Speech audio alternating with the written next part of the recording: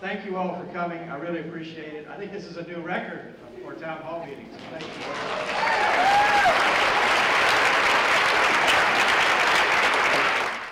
Nebraskans took part in a heated town hall meeting tonight. Good evening, everyone, and thank you for joining us. That's right. Hundreds came out to ask Congressman Jeff Fortenberry questions. They hit on many topics, and the meeting wasn't without controversy. Channel 8 Eyewitness News reporter Nicole Cousins has more in tonight's top story. Nicole? That's right, Rod and Megan. Congressman Fortenberry says he wanted to hold this town hall because, quite frankly, he can't keep up with all the emails and phone calls that he's received lately. Today's town meeting was heated at times, but it finally provided a dialogue between Nebraskans and the man who serves them in Washington.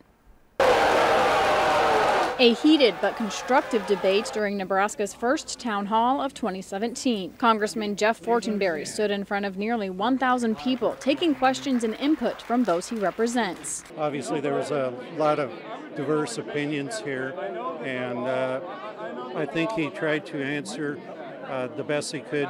Uh, he's here to represent all of us.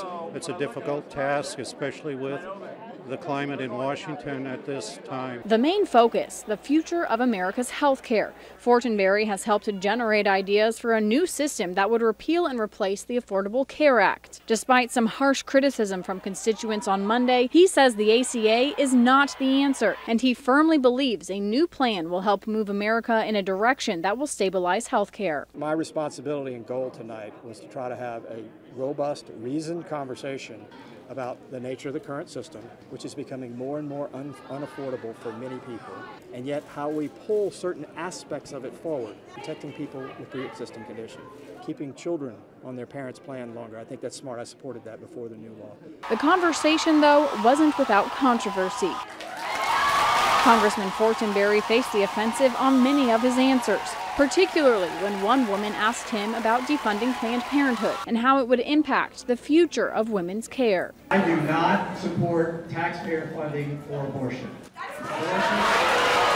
Planned Parenthood says abortion accounts for 3% of its services. Frankly, I was a bit disappointed at the lack of civility at our meeting, and I feel due to the lack of civility, there was not a possibility for great exchange of ideas. I was hoping for some more nuance, really seeking to understand and then be understood.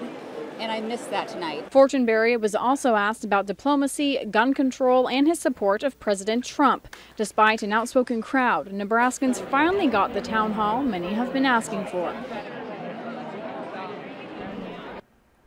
Fortenberry did say, and the rowdiness of the crowd at times was predictable given the current climate. He also said, though, he hopes that this can be the start of an open process between him and his constituents in Nebraska. Quite the people, and what a showing, too. Absolutely. Nicole Cousins, thank you for the story.